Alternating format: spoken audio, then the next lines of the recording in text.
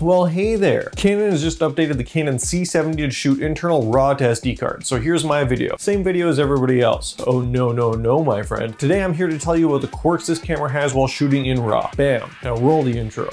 What?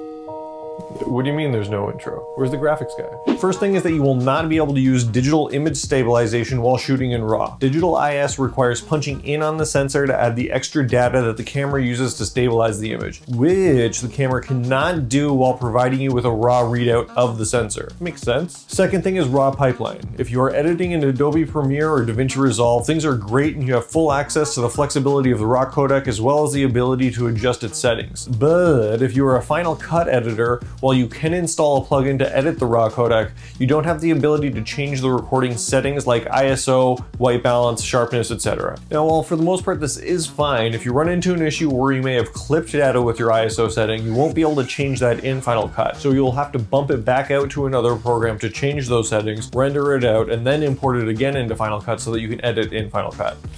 Next up, you can't change recording modes when shooting in RAW. No pre-recording, no slow and fast motion, and no time lapses. You are also limited to 60 frames per second in RAW light quality and 30 frames per second in RAW standard quality while shooting in 4K. So there's no 120 frames per second B-roll for all you camera flickers out there. Another thing is that you cannot record under 800 ISO while recording in RAW, but afterwards, using settings, it seems that you can drop below 800 ISO. You are also highly recommended to shoot in C-Log while shooting RAW. The camera will tell you that the noise noise the image will increase if you shoot in a standard profile while shooting in RAW. But really, you probably aren't trying to shoot in a standard profile if you are shooting in RAW, so it might just serve as a good reminder that, hey, you left the camera in RAW if you see this message. Also, I've been using V60 SD cards to record the highest quality RAW and have not gotten a dropped frame or a warning from the camera that the SD card couldn't handle the recording. This does not mean that it is recommended, but it has seemed to work just fine for myself and others. Alright, next up bugs. The bugs that I have found before still exist in this firmware. One of them I'm thankful for though. You can still punch into Super 16 mode with one button. Learn how here.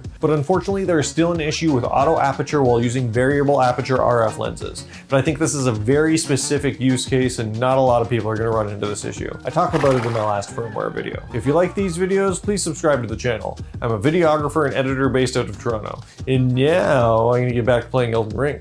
See ya!